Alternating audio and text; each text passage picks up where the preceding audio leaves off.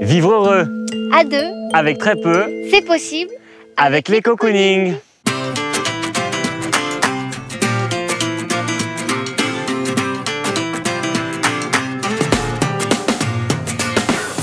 A tous les deux décidé de vivre dans la forêt. Moi, c'était après euh, une grosse crise de surmenage et un burn-out alors que j'étais en fac de sociaux. Donc, euh, du coup, j'ai vite compris que la vie active, c'était pas pour moi. Et moi, selon le calendrier ayurvédique, je suis cigogne ascendant boulot, donc c'est totalement cohérent. C'était trop difficile l'écologie dans Paris. On a décidé de quitter notre immeuble quand bah, nos voisins se sont plaints de nos toilettes sèches en appartement. Là.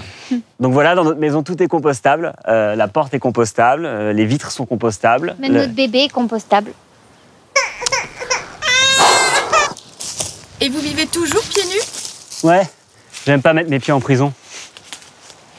Après voilà, on va pas non plus se couper totalement de la civilisation. On n'a pas résilié nos abonnements téléphoniques, on n'a pas résilié l'assurance pour la voiture et on n'a pas résilié notre inscription à Pôle emploi pour continuer de toucher le RSA. Oh là là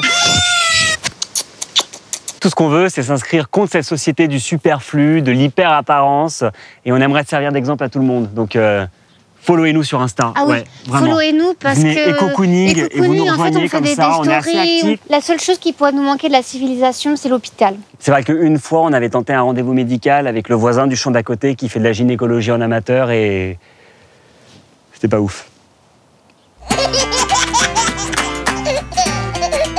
Donne une vision assez romantique de l'effondrement. Mais ce qu'il faut savoir, c'est que nous, on prépare l'après-effondrement. Mhm. Si on a acheté un bébé chien, bah, c'est pas seulement pour jouer avec notre enfant, c'est parce que c'est un Rottweiler et que à terme, ça peut servir. Brut, brut.